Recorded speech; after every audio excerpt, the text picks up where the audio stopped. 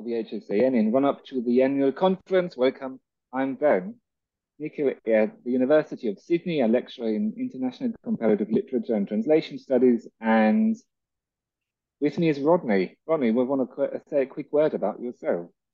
Yeah, hi, I'm a, a, lecturer in American Studies at the US Study Center at the uh, University of Sydney. I'm very happy to be co organizing the AHSN annual conference uh, this year, which this is a kind of pre event for it, with the event proper uh, beginning uh, next week.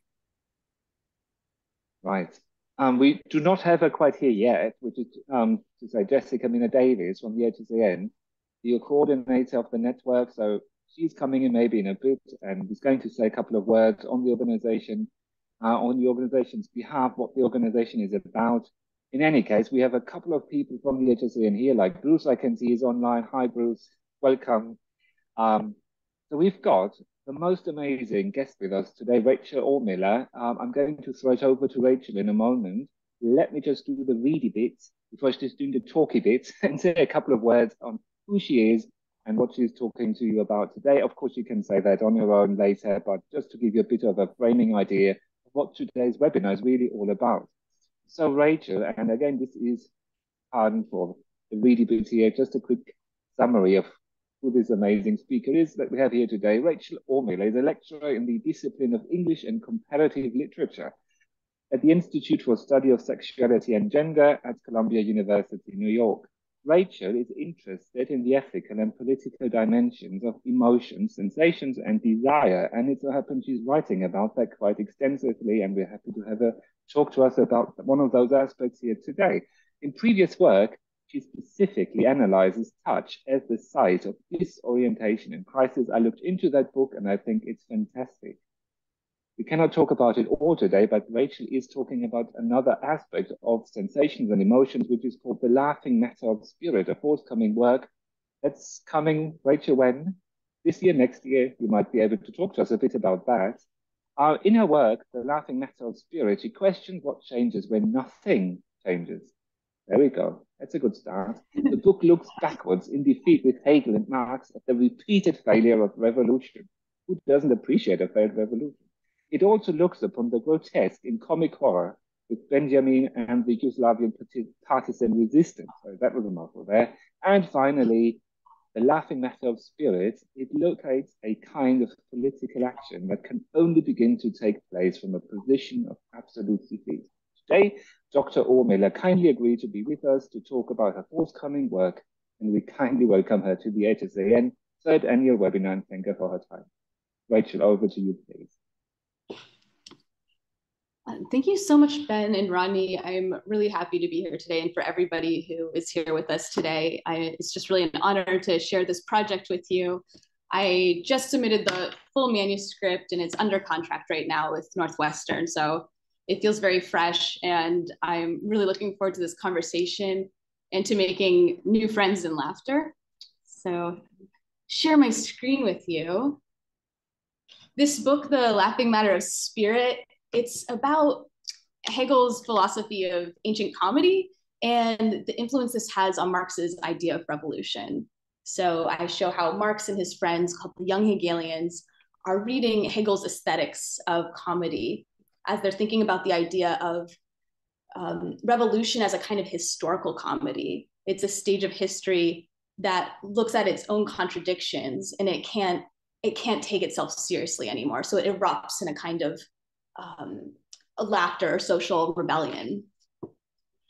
But my project begins a little bit earlier, not with Hegel's aesthetics or his philosophy of comedy, but with his book. It's a formal book of logic called The Science of Logic.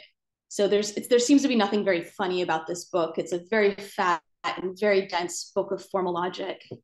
But I actually read his logic as a kind of satire.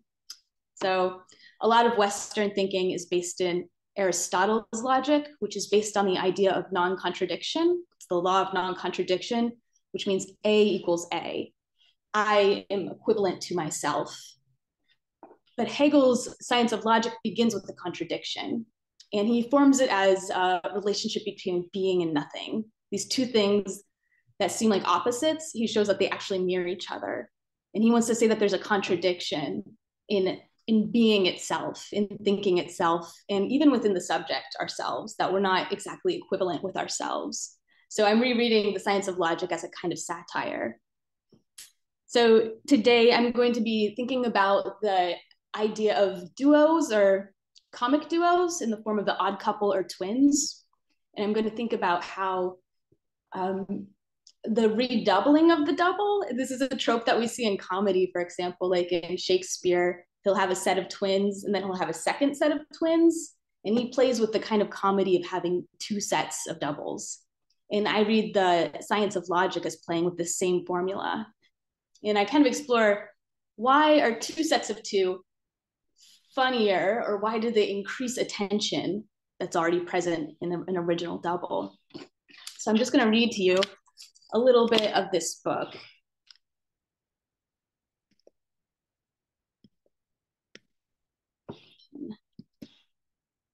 You go.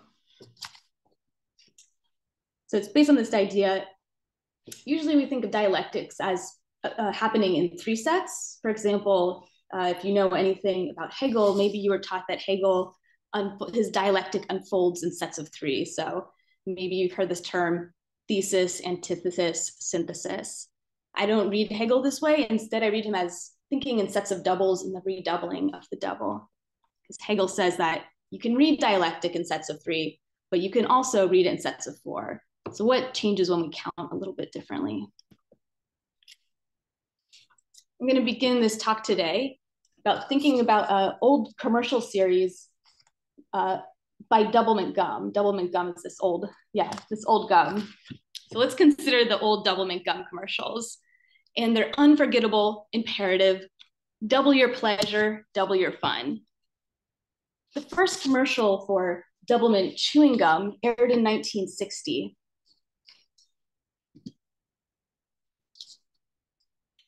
A woman sits in front of her vanity, intently gazing at her own reflection as she combs her hair. As she stands up and turns away from the vanity, her reflection follows her. And to her delight, her reflection is revealed to belong to another figure with her exact appearance and form. Wrigley's Doublemint gum twins are born in this moment when the lonely girl finds her perfect companion in her reflection that comes to life. In a delightful moment, one is revealed to be two. One will never be alone again now that she is two. When the 80s rolled around, Wrigley decided that it's uh, the twins weren't as funny anymore. The fantasy of the twins at first had sex appeal. But at the end of the day, there was something kind of sad about the autoerotic nature of a girl who had only her reflection for a companionship rather than imagining herself, or rather than imagining oneself erotically positioned between two playful sisters, the viewer instead sees herself in the image of the girl blowing bubbles alone in front of her mirror. While one is shown to be two, two is also still one. The original loneliness of the one is only redoubled in two. It's only magnified by the mere reflection. But just as Minty Fresh was losing its flavor, Wrigley found their marketing solution within their own tagline come on, double it. See if I can move on from this slide. Here we go. Uh, I want to, if I can do this, I think I'm going to switch over to YouTube because I would like you to hear this really great jingle because I think the jingle is incredible and very memorable if you grew up during this time period. A double pleasure is waiting for you. A double pleasure from Doublemint gum. A double great feeling, making you realize double is one for you. Double fresh, double smooth to chew. A double pleasure is way show you. Gum. A double pleasure is way show you. Gum. Go back to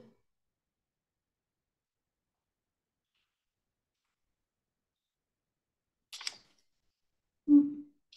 Are we still connected? We're still good? Okay.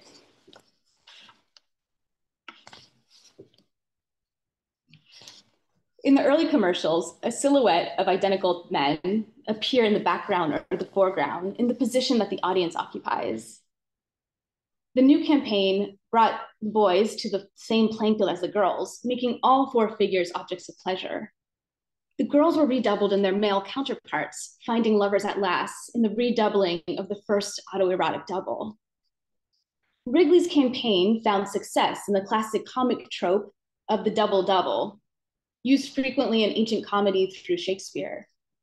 The two sets of twins, for in the Comedy of Errors, for example, allow for double the pleasure by doubling the trouble with more possibilities for confusion, misidentifications, inversions, and the old switcheroo.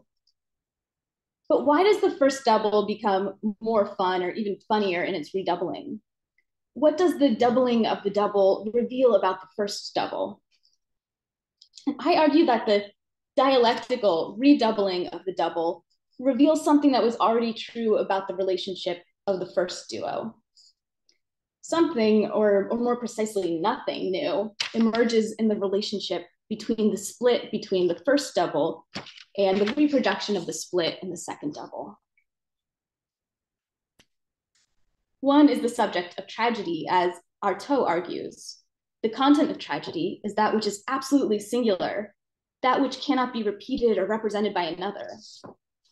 Hegel also identifies tragedy by oneness. But for him, the oneness of tragedy is a joke for comedy. Comedy is the process of comedy is the process of is this okay actually the um okay cool sorry to interrupt but if i keep it the um powerpoint expanded can you still see me too we can't see the powerpoint um, I, we can't see the powerpoint yeah when the powerpoint is playing um, can you still see my face as well yes Okay, great. I just wanted to make sure because there's long um, spells of not yeah. the PowerPoint. I mean, we, we can't see the we, we can't see the PowerPoint right now. So if you want to share that yes. again later. Okay. okay, great. I will pause this.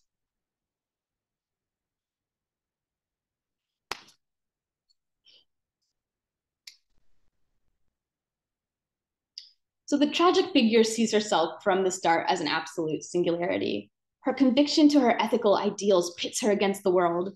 She's tragic, however, not because she must die at the hands of a world that refuses to see her rightness.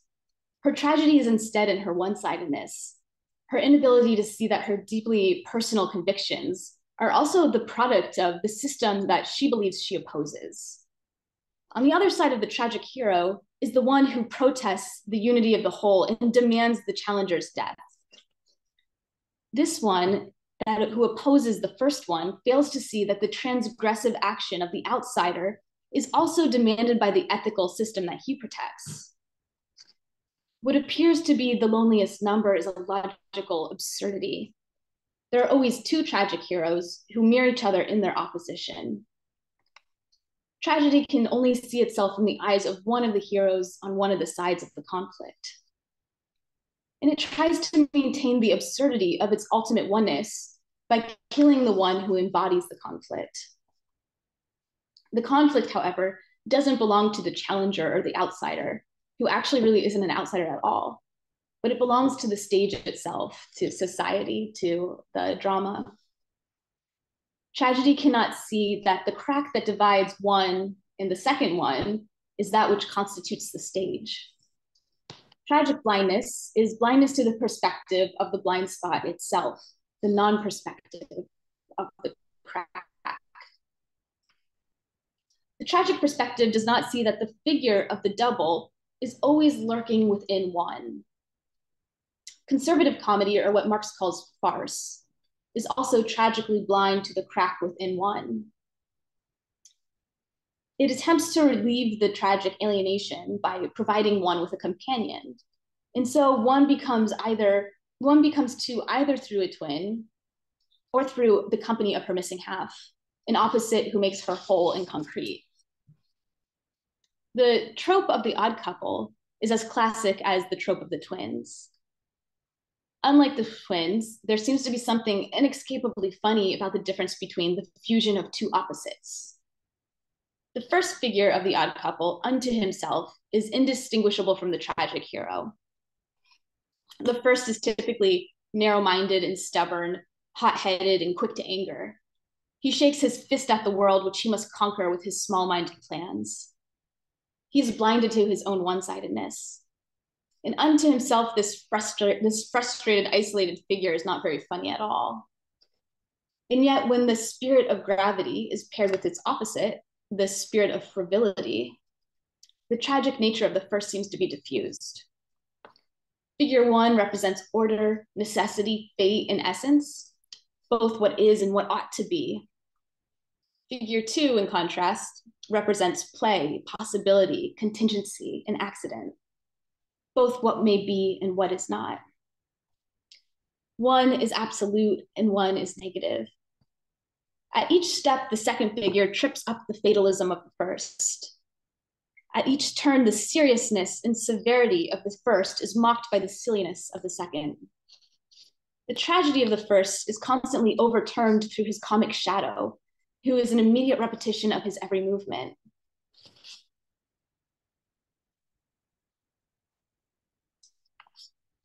Like the broom faced sweeper dog from Alice in Wonderland, the comic double immediately sweeps away tragic, the tracks of tragedy. But is the tragic nature of the first one really overcome by the comic cleanup man? Hegel saw Greek comedy on the ancient stage not as comic relief from tragedy, but as a mirror of the tragic stage. As he puts it, the reconciliation on the comic stage of, his, of Greek history is only superficial or partial freedom. On the tragic stage, the grave hero steps before the chorus to defend the absolute rightness of her actions. She soberly utters, It is, it must be, it cannot be undone. The tragic hero solemnly sacrifices herself in the name of her gods, who she represents. On the comic stage, however, the gods are brought out on stage and made to represent themselves. We laugh as they are tortured and mocked. When we cry out, the gods are dead, all that was is not, it is not. The double in the form of the odd couple represents these two stages on one stage. The tragic utterance, it is, is met by the comic proclamation, it is not. Now, in the 90s, we kids played an incredibly obnoxious game in which one person would interrupt someone else's speech and scream not. So you might say, I really your talk. Not how it originated. And uh, I think it comes from Bill and Ted's Excellent Adventure. And actually in 1992, not was declared the word of the year. But we took this to a new extreme where one person would begin to speak and we would just say not in their face. Almost before the words would come out of their mouth, we would yell not. And I actually had this t-shirt with the troll on it. My sister had a t-shirt with the with a green colored haired green haired troll and her said radical. And I had this pink t-shirt that said not. So the comic double, double operates uh, on this game of not one says it is and two responds not it is not. The immediate movement from the tragic one to the comic double is the first movement of hegel's science of logic. We begin with being but the moment we try to point to being to determine what it is that being might be we arrive at its negative double nothing a radical change appears in the transition from being to nothing, from the spirit of gravity to the spirit of frivolity, from the it is to the it is not, from tragic seriousness to comic laughter. However, insofar as these two stages appear as simply opposed, even as they appear on the same stage, the relationship between one and not one fails to show us anything new. The radical change in form is a mere repetition of the same old content.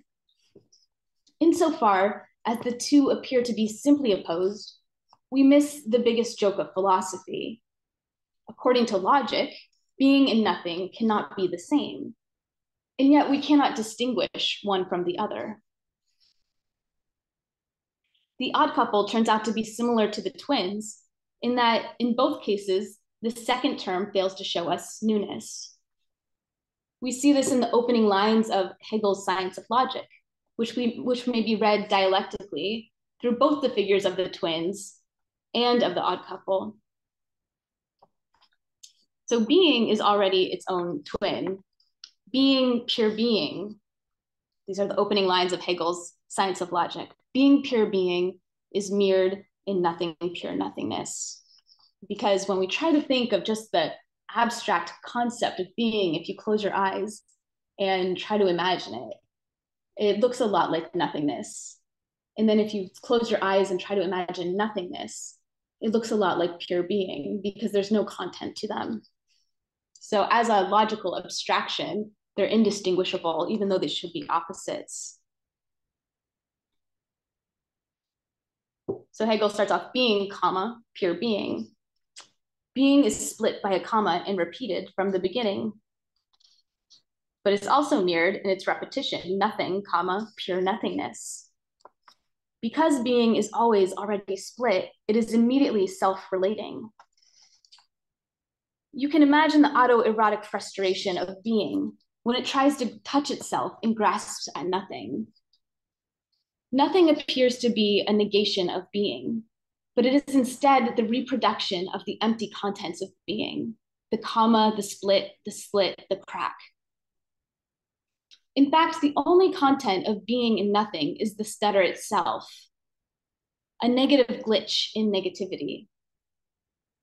Within the paradox of a crack within pure nothingness, we find an expression of, of the negation of the negation, which is not an affirmation, but rather a stirring of indeterminate negativity within determinate negation. When the stutter in the empty content of pure being is repeated in the stutter within pure nothingness, negativity itself both is both deepened and heightened. I know this is a this part of the talk is like very very dense, and I go into a lot of detail about this formal logic and the double of the double within this within this logical system.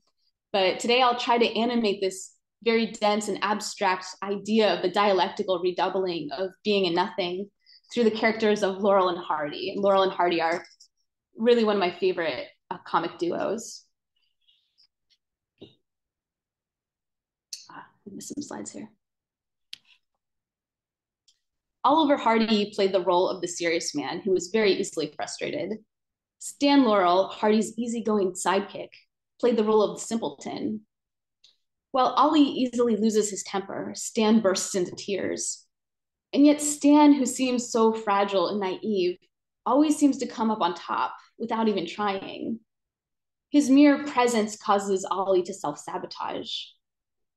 In every episode, Ollie, thinking he knows best, forcefully pushes Stan out of the way and takes the lead.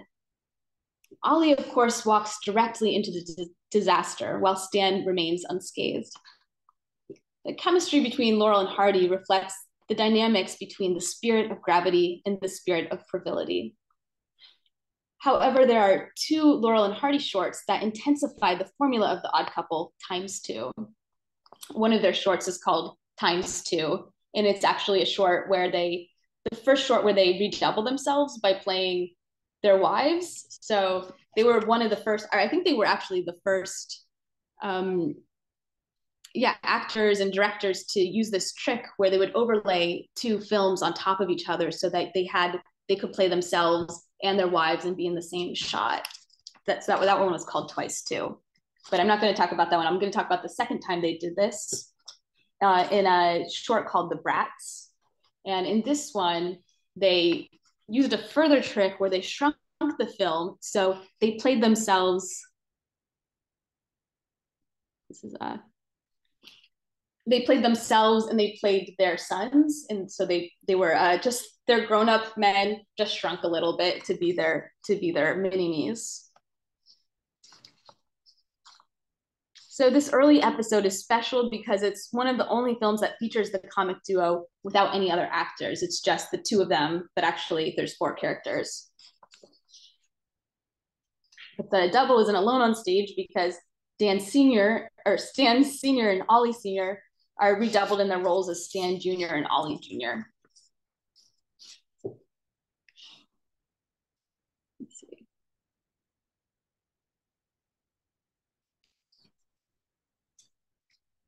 The scene opens with a game of checkers. Ollie is determined to win, although Stan has already captured a large stock, a large stack of Ollie's red checker pieces. Like a game of knot in which children negate each other words almost before they leave the other's mouth. Stan jumps to make a move the moment Ollie's hand hovers over a checker piece. When Stan is distracted, Ollie makes quickly makes his play. Stan immediately captures two more pieces. It is, it is not, it is not.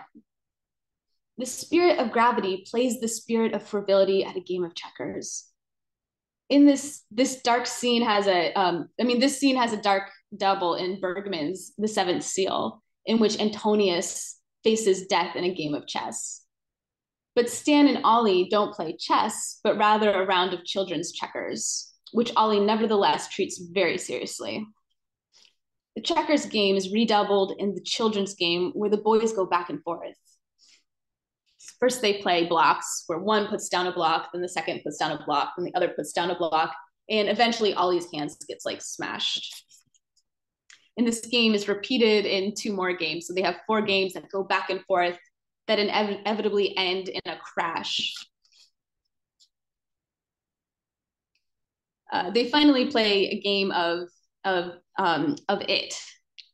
And the thing about a game of it, if you were to play it, it's a game of tag your it, and it's shortened for instead of saying tag your it, it's just shortened as it.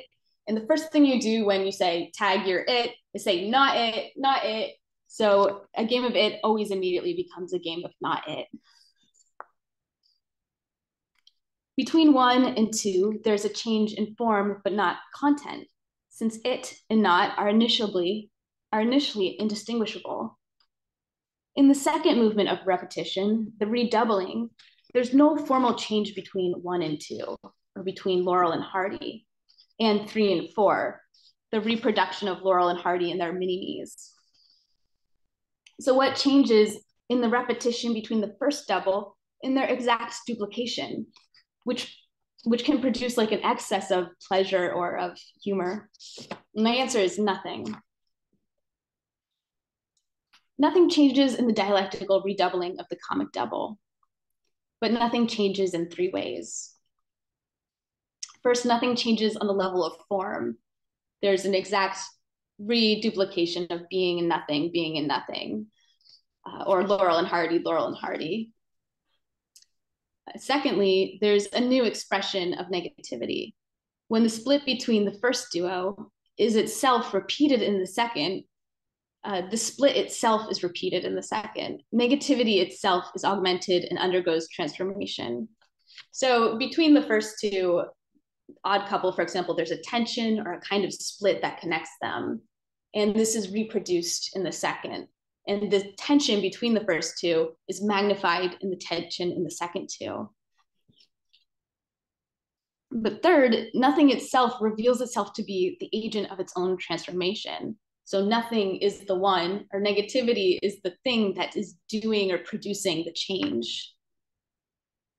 The crack between being and nothing is in the position of the subject who, in counting dialectically to three, forgets to count herself. Or to be more exact, she forgets to count herself as nothing.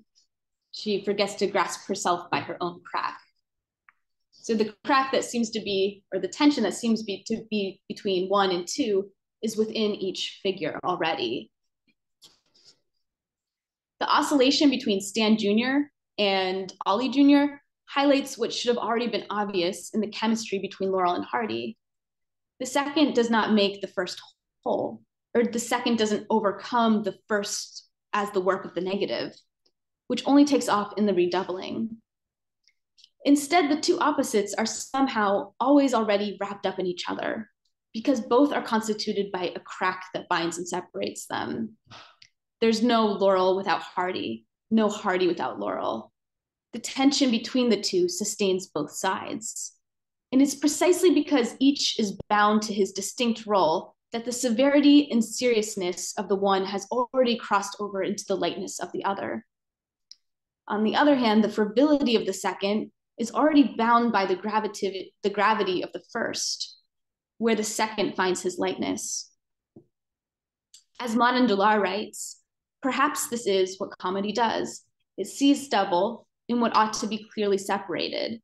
And precisely by seeing them as a couple, as the double of each other, as twins, it produces the comic effect. There is an object X that emerges between the two. Now, what may already be obvious to us must become obvious to the double itself. As Stan says in one of his most famous nonsensical proverbs, you can lead a horse to, to water, but a pencil is made out of lead. Ollie, the spirit of gravity, must get hit on the head with a block by the second set of doubles to realize that Stan's accidental insight when he confuses himself with Ollie and their mini-me's. So Stan scolds the boys. If you don't be quiet, we'll have to send us to bed. To which Ollie replies, Not we, them. But Stan's misspoken words are always closer to the truth. The brilliance of the Brat sketch is that between the double and the redoubling, nothing changes. And for this very reason, the humor is heightened twice too. Comedy is not in the second repetition, but in the crack that makes being in nothing a game of it, not it. The laughing matter of spirit emerges when nothing itself changes, when the crack is split open by yet another crack, in the doubling of the double, the transformation of negativity itself. Hmm. Thank you all for letting me share that. Yeah. And Wonderful. Thanks so much for that uh, tremendous presentation, uh, Rachel. There's a lot for us there to uh, to chew on and to, to think about. And while we are doing that, you know, sort of processing what we've heard, I wonder if you could say a little bit about uh, the writing process of this book, like how you came about to embarking on this project, just before we get into, you know, some some more specifics. Well, that's challenging because I actually began this work such a long time ago, and it began as a, as yeah, it's fun to for you to jog my memory, but uh, I was reading Marx and the Young Hegelians' political writings, and I was just surprised at how many references there are to comedy and humor within these writings about revolution. It's not something that was ever I had, yeah, I ever noticed before. And I think about actually Marx himself as a, a, kind of serious thinker, at least at that point I did, I was like really familiar with his economics. And uh, so, so I was really curious about that. And that led me to go back to Hegel and to think about his idea of comedy. I was wondering yeah, how that influenced the, the political thinking of people like Marx and Ruge and uh, Stirner. Um, Rachel, if I may, a, just as a question to take along from there, um, as you know, you know, we were talking, or you were talking about the comedic aspect of the one and the double, and how that, you know, is basically set in perpetuity when you have Laurel and Hardy. So, what happens when you double the doubling act? I was wondering if you could talk maybe a bit more about where do you see the comedy? I mean, obviously, you know, you, you lined that out, but can you maybe talk a bit more about where's you know your your idea of the laughing spirit in all of that, and um, you know this wonderful idea of sending yourself to bed. You know, where Lauren Hardy, where you were talking about the twins. So you have two. I'm being a twin myself. You know, I find it hilarious that. Are you? um, yeah, it was a bit tragic as well. So I'm growing up because you know there is a sense of like identity. You know, it, it kind of reverberates there when you talked about it. But can you talk a bit more about this idea of you know the crack, the tragicness of being one and nothingness being doubled into like twice the nothingness, not like twice, you know, the there-ness. So it, maybe just to mm-hmm. untie a couple of these concepts we were talking about, maybe just so we have an idea of where you're locating all of that. Sure, like maybe we could begin with tragedy. And I always go back to Antigone, who's like one of our favorite all-time tragic heroes, I think. We have a figure like tri- or like Antigone who's posed up against Creon. So Antigone is herself split between two roles that are incompatible her role as sister and her role as citizen that demand contrary actions. And we often think of like the tension is between her and this ethical system, or between her and Creon, who represents that. But Creon is also torn between two roles, between his role as king and sovereign, and his personal role to her. And um, and so each character you can see they're already a double in themselves. But this is precisely what the tragic hero can't see. And it's because they want to cling to themselves and insist on themselves as a unity and as a rightness that they won't see that what constitute them is itself a contradiction, that each of them are a living contradiction. So they seem like the odd couple who are opposed in what they want from the world and what they want from each other. And it seems like if only one of them could die, or like if, if Antigone, who represents the disorder or the conflict, if she could be put to death or eliminated, then the whole system could return to its unity. But of course, that unity doesn't exist. And the fact that they're both already a living contradiction is a product of that. And I think there's a way that comedy can bring that contradiction to the surface, whether it's a formal comic uh, cinema that plays with this, where we see very explicitly that that tension between one and one, that they're already a double themselves. It's already implied with two characters on stage but then when you redouble each side, that that idea that one one is already two and the second is already two, that there's actually a, a tetrad lurking within this duo uh, comes to the surface and it can't be ignored. So it plays it out so that nobody, the stage itself can't ignore this, this obvious contradiction and tension. And I think that comedy actually happens the moment that the stage feels the tension and it refused to conceal it. And that's where I have a concept of a historical comedy. It's a, historical stage that really can't bear to conceal its own tensions anymore.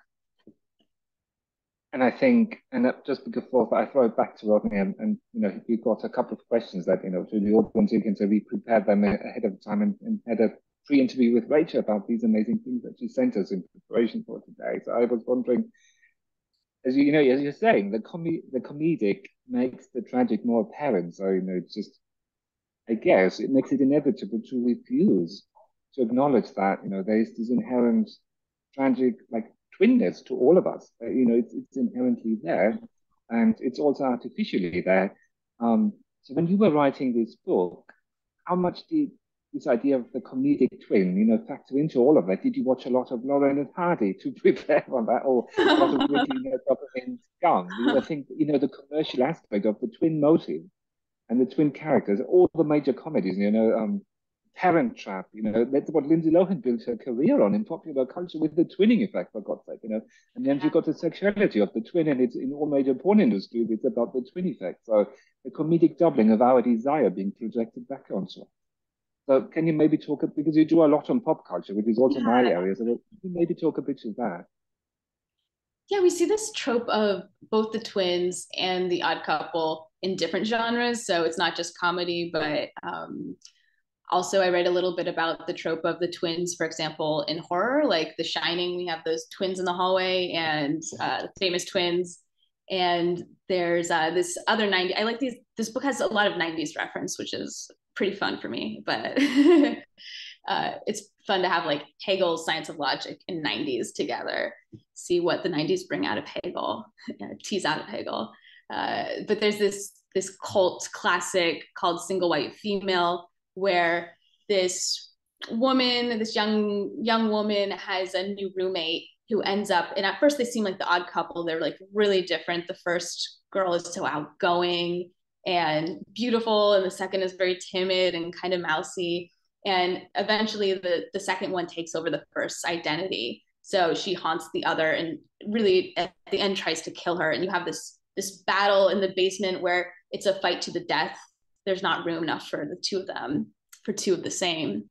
I'm wondering like what makes something what makes the trope of the twins a subject for horror? And what makes it a subject of comedy and I and, turned and, to you know, and, yeah. And, and sorry, and you know, as we are saying, you know, the competition for being the one, the trying, you know, being the yeah, original. one. if you go like on Halloween, you know, people dressing up as I don't know Kim Kardashian, you know, and it's like, but what if you had the original and the copy, the twin, in the same room? You know, when they have got the competition for being the original, or you know, Hollywood's faking all of these things that we, you know, filming in real life. So got a competition for being the one. And we've got a whole industry of doubling or twinning with us, a multi-billion dollar industry of twinning the reality that we live in. And it makes us get into and live into that reality of the twins and it makes us forget the original, you know, the other twins. So isn't that grotesquely, horrendously, you know, faking the reality we live in? I mean, it just your work kind of brought all of this up for me. But I'm going to shut up and throw it over to Rodney, who's got another question for you, and then we might just take it slowly to the audience for their questions. Yeah, I mean, really... mm-hmm. so this put me of a mind about of the uh, discourse around the deep fake now which is kind of a version of this twinning that you are teasing out across this kind of deep philosophical enterprise, right? That in some ways there's a kind of deep fakery going on here um, between the twins and i wonder so the the odd couple brings kind of starkly to bear this kind of tetradic structure that you're bringing out between being and nothingness and and I think it's John Limon who wrote about the odd couple in this book uh, called Stand Up in Theory Abjection in America, I think is the name of the book. It's from 2000. And he talks about the odd couple where um, the straight man has a name and the other figure doesn't really have a name, like sometimes called the comedian. And he wants to read it in terms of queerness, but I think you could also read it in terms of beer and being and, and, and nothingness. But I wonder what happens with doubles when they aren't sort of immediately apparent so if you have, say, a serial figure emerging across a series of films such as Chaplin, right? And then if you talked about this, um, and it, the the chapters that you sent to Ben and I, Marx somewhere remarks that history repeats itself first as tragedy, then as farce. But what he failed to mention was that tragedy and farce repeats itself first as tragedy, then as farce. I think we have that movement in Chaplin's career uh, when he ends up basically becoming Hitler right? Yeah. That there is this, you know, this sort of grotesque doubling, which he himself thought was grotesque afterwards. He said, if I actually knew that I became the one in that when I became Hynkel, I would not have, have made the film. So if there's one, wondering if there's something about twinning sort of across time or, or at a distance uh, as opposed to sort of being directly in front of us. Wow, that's that's really fascinating yeah. I also i also found that like in writing there's kind of feels like there's this progression like first tragedy like marx says then comedy almost as if comedy really brings resolution or marx talks about this happy separation with the past. But i think that's exactly what hegel saw as that kind of comedy that thinks that it's left the tragedy of the past in the past there's something about that that turns into kind of a horror. If you think that by mocking something or by doubling it we've somehow have like um, mitigated the the horror of say somebody like Hitler. It uh, it's like that um, that there's something kind of like eerie about that or or even horrifying. And i found that like a lot of my writing on comedy like horror would come up. So it wasn't really about tragedy and comedy it would turn into about comedy and horror. And i think what hegel was worried about with ancient comedy is that when we see it as a resolution for tragedy as something separate it actually reproduces tragedy and actually turns into something like horror because it's not really um, acknowledging tragedy and the suffering of tragedy. So that's why I think the odd couple, when you think about these two, one representing tragedy and one representing comedy, like in order for comedy to be liberating, it has to really hold within itself the suffering of tragedy too. I would say that probably somebody like Chaplin does that in his comedy too beautifully, but I can see how how that could be troubling too. Yeah, and not um, taking account of that history. Uh, you know, Ben talked about Halloween dressing up as the Kardashians. Well, for a long time, people would wear like Nazi uniforms as well, which has become you know prohibited. Right, you kind of can't do that because of precisely what you're talking about. I think not sort of capturing the the tragedy or sort of overlooking it or not giving it its its due. Yeah, there can be a way that laughter might make us feel free from the conditions that produce that laughter. If we're laughing at something, it somehow doesn't touch us anymore. But I think there's another kind of deeper comedy that comes with this moment of of horror or of sadness where you realize that the contradiction really belongs to us and it that's a different kind of laughter that erupts out of how we grasp ourselves by the contradiction that we are, rather than some somebody who has gained distance from it through our laughter or comedy.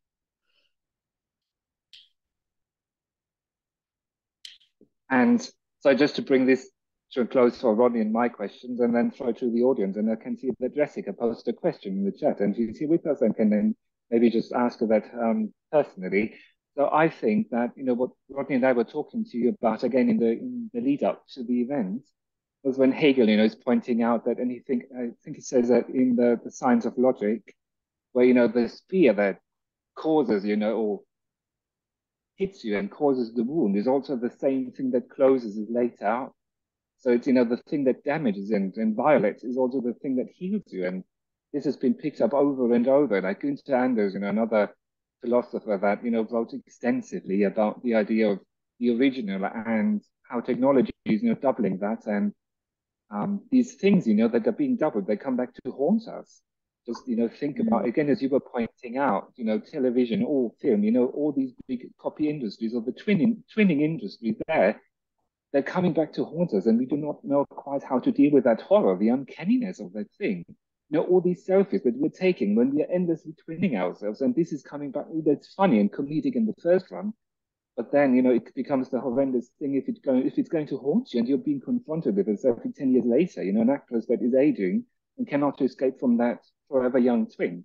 So um, mm. I was just going to ask you about so where do you see because you know you're saying what, what is happening when you you know you you oppose Hegel with the 90s, and I thought that was a brilliantly put reference there on how your book works. Um, and Jessica has also, you know, she had the question about law, so I guess it goes in, along those lines in um, the artifice or the artificiality of, of the twinning process. Um, do you think that gives it the you know the comedicness? Because we kind you know we, we can see how technical the process is and we're we're turning into these technically reproduced creatures. So is it a commentary on the technicality of us the training process just how artificial it is that you're talking about there? Wow that's such a rich comment. Wow uh oh. no it's really nice. It's really um opened up so many thoughts for me. First i think why is the the uh, the repetition of us say in our social media presence for some of us that becomes a little bit uncanny and maybe it's because deep down we really still want to be the original. And when you realize that oh my social media presence is taking over that feels like that's more real than me or something like that. Maybe some people feel that way if they have a very active online persona or something like that.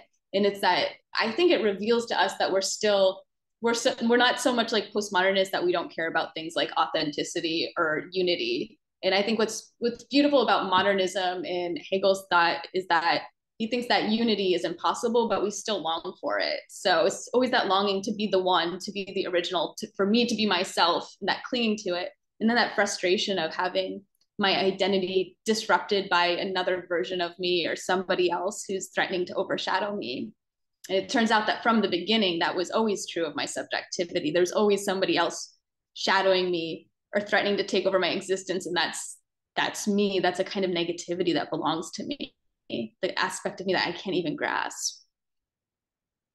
So that artificial or mm-hmm. technological level shows a, a more originary split that's within us. Perfect. I mean yeah thanks so much for that um, and with that, if that's okay, Rodney, we might just um, open the floor for questions from the audience. We have about 30 something minutes left and then give Jessica a couple more minutes at the end to say a bit about the agency, and that's okay. Um, Jessica, would you like to unmute and ask your question to Rachel or I can read it out, whichever way you prefer.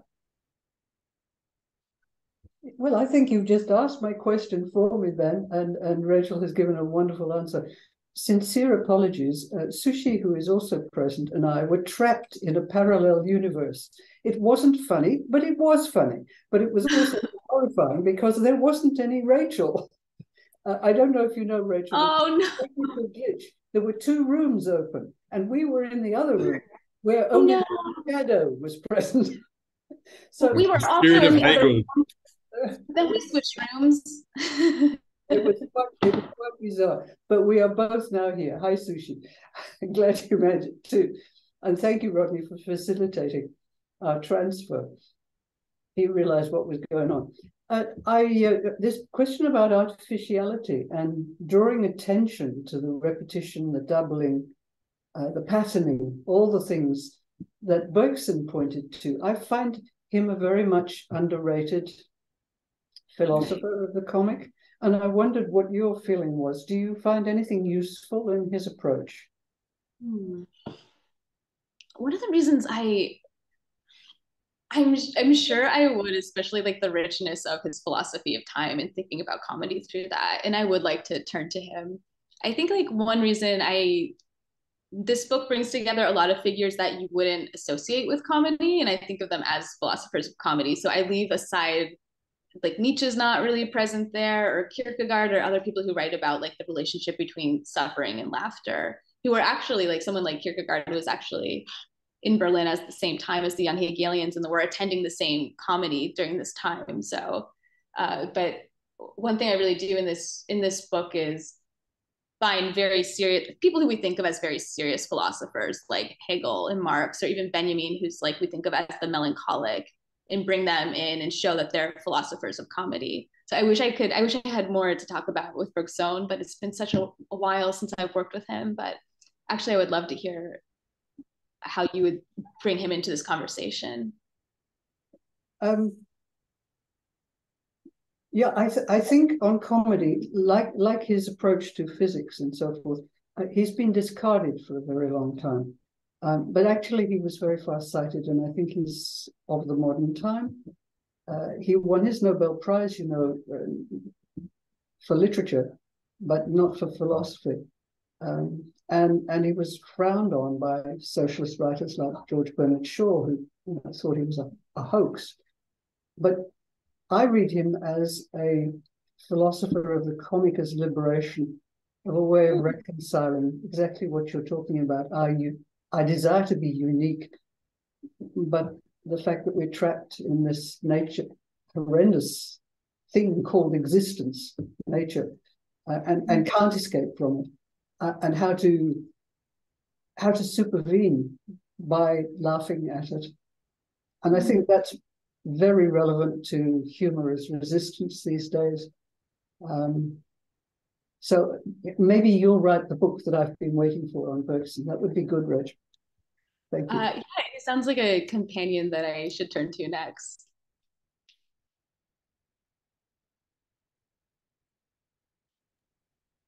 Do we have any other questions from the audience? Might just see if you'd like, you can put them in the chat, or you can just unmute and ask Rachel. If not, I mean, I guess there are so many more things than I have Rachel because it's, it's never any fascination when we talk to her. But any more questions from the audience as I, oh, Cindy, please go ahead.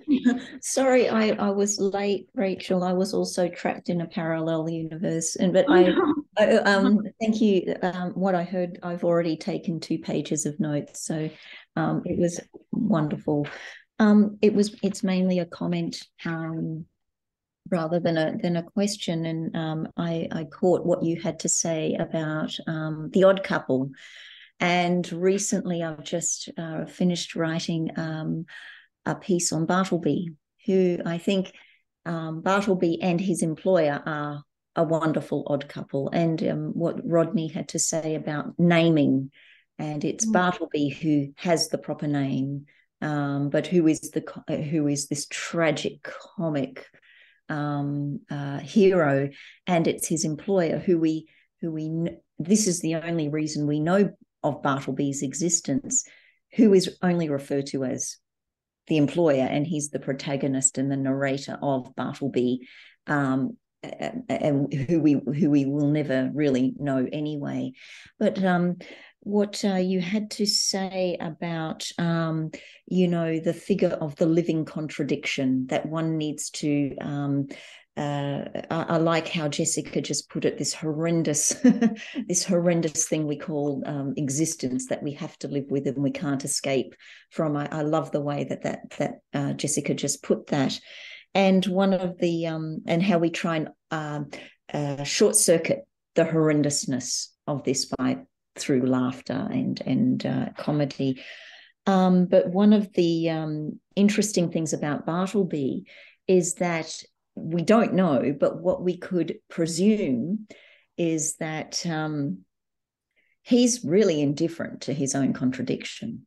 He gets to a mm. point where he's completely, you know, either he uh, uh, completely uh, uh, uh, uh doesn't obfuscate contradiction, but just dismisses it and becomes neutralized by by contradiction, and is indifferent to what he might know or not know about himself.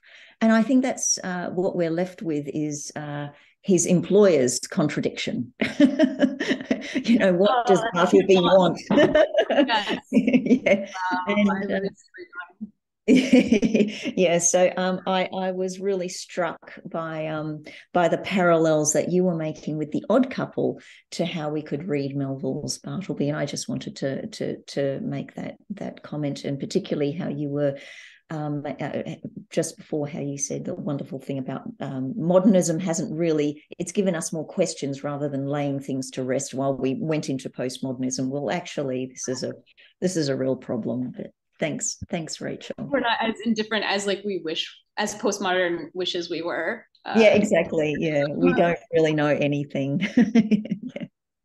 Yeah. yeah. That's, no thank you for that comment and oh, sorry direction that the book takes when it takes this more political turn later on is I start to think about how well tragedy what makes the tragic hero tragic is that they keep insisting on themselves the value of their current existence within a society that makes them a specific contradiction not just any contradiction but, it, it they can only appear as a contradiction. And what happens when oh, my cat has joined us. What happens when we really grasp ourselves by that contradiction instead of seeking a kind of visibility or representation that conceals that. Uh, what happens when we expose our crack? I would say I kind of use this vulgar language sometimes, but um, uh, and what if we what if we fail? What if we show expose ourselves in our naked negativity, and maybe that looks like indifference or resignation or silence sometimes or not caring, and maybe that's a way to magnify the negativity that we are once we once we realize that society has turned us into a farce maybe from some people uh, from the beginning. This is khan. He has joined us. There's no stopping him. So I, I, look at figures that uh, there's a, a version of antigone that comes out of yugoslavia where antigone never turn never comes on the stage at all. And there's a way that her absence is repeated and repeated and it magnifies. It's it's very eerie but i also see this as kind of a comic horror that she doesn't she doesn't appear at all. And there's a kind of i think that feminist resistance and that kind of failure to maybe a failure to care to laugh at it but in a way that yeah i think nothing changes through that through that process. Thank you rachel. Yeah it's great. Yeah and maybe sort of building off of that, I could ask you to say something about this notion of critical laughter, which I don't know might occur when someone exposes their own crack or someone else's crack, and like these yeah. resistance and the political turn you talk about your your book uh, sort of taking in its uh, latter stages. Hmm. Yeah. Uh, this comes out when I turn to the young Hegelians, and there's this uh, there's a split in Hegel's the first generation of Hegelians where you have what I call like the defenders of the seriousness of religion, this kind of religious metaphysical reading of Hegel, and then the political writings, which um, I call them like they're making a comedy out of religion. And there's also a split within that sense of comedy of religion, in that you have some of the young Hegelians and Marxist companions who are absolutely critical of the church and the relationship between the church and the state and they think it should just be destroyed. And there's a kind of critical laughter there that's like wants to expose the contradictions of an institute that they don't belong to. So they think that the contradiction of this stage of history always belongs to a different institute or something that they're not a part of. In this sense laughter gives us distance from the thing so we can make fun of it and its contradictions. But arnold ruge who's a maybe the a more one of the most Hegelians of the young Hegelians, he thinks that rather than say exposing the contradictions within religion during their time period, that the church would have to come and feel that tension itself and kind of be an exhibitionist. So I use this idea of like the church as lifting its own skirt and showing its contradictions, like it that it could be the site of actually social change if it could feel the way it had become distorted and corrupted by by the state. So there's a kind of laughter that finds distance and always identifies contradiction as belonging to the object of laughter existing someplace else. And there's a different kind of critical laughter that comes when the site of contradiction exposes itself. So I like this idea of the exhibitionist exposing their crack, I guess.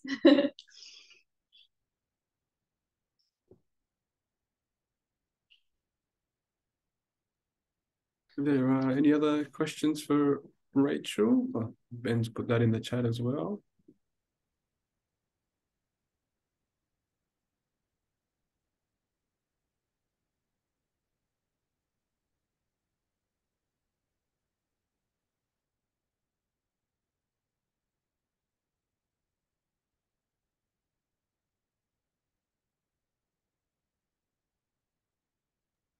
So it might not be at the very moment that any questions. Um, Rachel, if that's okay, I was just going to pick up on the point that Jessica mentioned about Bergson and again, the idea of dealing with, you know, being thrown into exist, like having to deal with being here, you know, like this inescapability of being us, of being whatever it means, you know, to be human in particularly this day and age. So I was wondering if you could talk a bit, because I'm just really obsessed with the Laurel and Hardy thing, you know, and the doubling and the twinning. Um, but also what Jessica and Jessica kindly put one of her own publications in the chat so where can anyone who's interested can read up on that and Bergson, the theory of the comic. So Bergson also points to this idea of you know the mechanically crusted upon nature of um, you know of how to be human and perform it. And you were just saying that the church, if you could only get rid of this encrustedness, you know, and you could only get rid of the um, this myth, you know, or this distortion of that we've always been these like artificial things and critically laugh at that, as Rodney was pointing out. So in your book, you mentioned the twice two formula, and I was wondering if that may be the way out. That you know, you, in your book uh, you're pointing out. So could you maybe talk a bit about the twice two principle and um, you know how that might be a new formula, um, the way out for being these miserable human things that we are at, the, at this point? Unfortunately, I don't know if it's a way out of misery.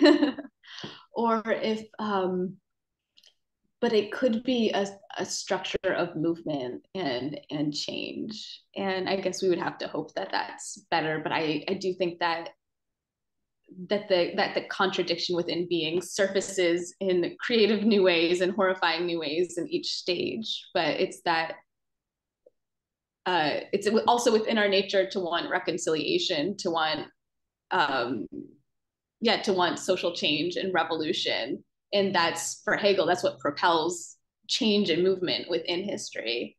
Is that that and that's why I say uh, the, the book title is called The Laughing Matter of Spirit. And it's a, of course, it's a, a word play because the young Hegelians were sometimes dismissive of this idea of spirit within Hegel's work in the name of materiality. If they wanted to be serious materialists, that we had to Hegel's great, but we can stick to his idea of, of history, but do away with the idea of spirit.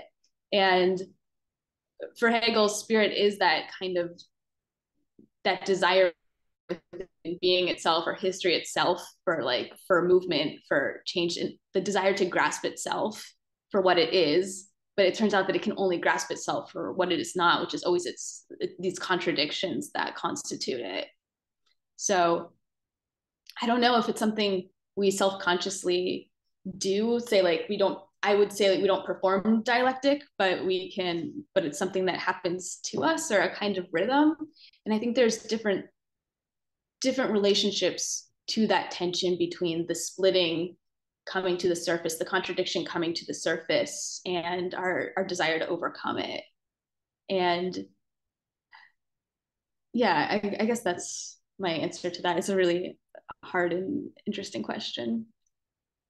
thanks so much. And I think it opens up so many wonderful, you know, avenues for like thinking about this tension and the, the productive tension of this kind of humor and you know the Nathan spirit there, which is I, I personally think it's fascinating. Um, any more questions from the audience? Are there Any other questions that you'd like to ask or pop in the chat? Mm, doesn't quite seem so. Um, in that case, might we just ask Jessica and maybe draw to a close then if there's no other questions, and we thank Rachel so much for her time. But Jessica, might you say a quick word on the AHSN? And unfortunately, we didn't get to that because you were trapped in the horror universe of um, the alternate Zoom room there. I'm dealing with your own twinning. Um, maybe you could say a bit about the AHSN. Why are we here, and what is, you know, the bigger picture when it comes to the comedy, um, studies research framework that the AHSN is relying upon to get people like Rachel to come here.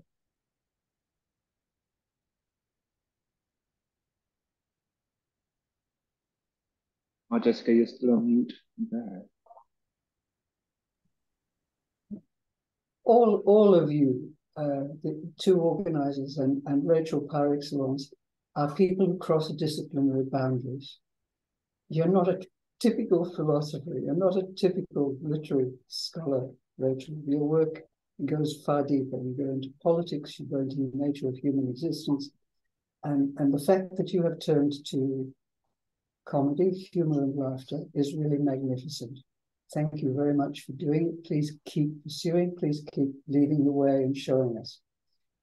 But you emblemize the, the whole spirit of the humour studies movement, which grew from very early beginnings, driven first by psychology and then by linguistics. And I went along to the very first conference, it's an awful long time ago now, 1976 in Wales, and sat through a most amazing array of papers and realized that no one had the full truth about humor and laughter. Laughter, in a way, is easier to study because it's a physical behavior. You can see the types of laughter. Laughter's there or it's not there. There's unlaughter, of course. Um, but but it's a lot easier than humor, which has come to be the grab bag term for everything of which comedy is now kind of a branch because it focuses upon the human characters that perform it as opposed to the words that are written down or memes or whatever. Um, so humor studies is what it's ended up calling itself, as it were, uh, simply because it's embracing all the disciplines. And I know that lower down on my screen are a wonderful array of names. Some of you I recognize, some of you don't, but I'm sure we would have as many disciplines as there are names, and then more beyond represented here today. Um, and that's the endless fascination of what we're doing, studying. And the Australasian Humour Studies Network, starting with a base in Australia and New Zealand, trying to reach out to Asia and beyond. Uh, that's what its mission is, is to encourage everyone to listen across boundaries and to think across boundaries and to collaborate across boundaries. And thank you for allowing us such a wonderful opportunity to do that today, Rachel. And uh, hopefully there will be more of it next week at our conference. Thank you. Brilliantly put. So give it up one more time for Rachel, please, and have an amazing, just fascinating talk. And thanks so much, Rachel, for joining us all the way from New York. Thanks to the audience for being with us. Thanks so much for attending. We will post the full recording online and when it's been edited and we've kind of gotten rid of these references to a trapped room thingy to make it look nice and clean and, and edited. Um, Rodney, you've got the final last words before we end the recording. Over to you there.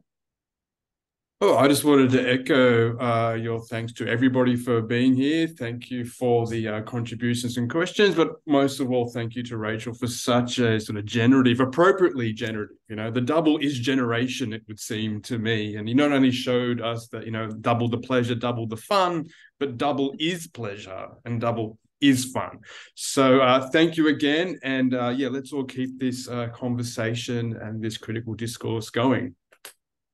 And if I may just also say thank you for having me here. And I love to join you in person someday in the future. And I really sense that this is such an important network and a group of natural uh, friends in laughter. And I've really have enjoyed our conversation, this conversation today, and the little bit I got to talk to Ben and Rodney before this too. And the questions that you both sent me were so fascinating too. So I really hope this is the beginning of a relationship with this this beautiful network. Uh, and um, yeah, so thank you.